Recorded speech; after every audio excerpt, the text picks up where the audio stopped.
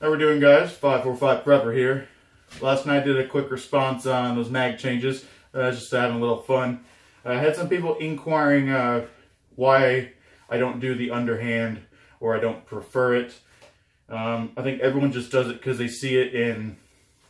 It works. Yes, it does. Uh, I went to a rifle course in 2014 put on by AK Operators Union. Uh, Center T did the training, which is out of Russia. Uh, and they had a different philosophy of use.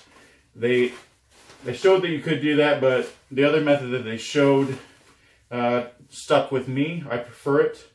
So you got your, your empty mag. You go bang, bang, bang, click.